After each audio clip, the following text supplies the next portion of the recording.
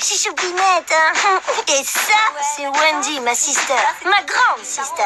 Son truc, c'est de passer des heures au téléphone avec son Maxence pour se raconter des histoires de amoureux. Wendy, elle dit tout le temps que je l'empêche de respirer, que je suis qu'un boulet, gna gna gna. C'est n'importe quoi. Moi, je veux juste savoir comment ça marche, les adolescentes. Parce que moi aussi, je vais devenir une adolescente. Mais en mieux que Wendy. hein. J'ai un cerveau, moi. Ça m'aurait carrément trop plu d'être ma propre sister. Juste pour avoir la chance de m'avoir moi comme sister. Faut dire que j'ai toujours des idées de génie.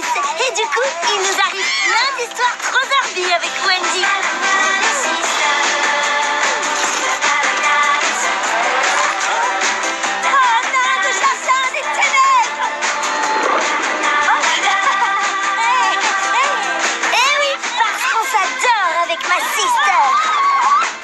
Leona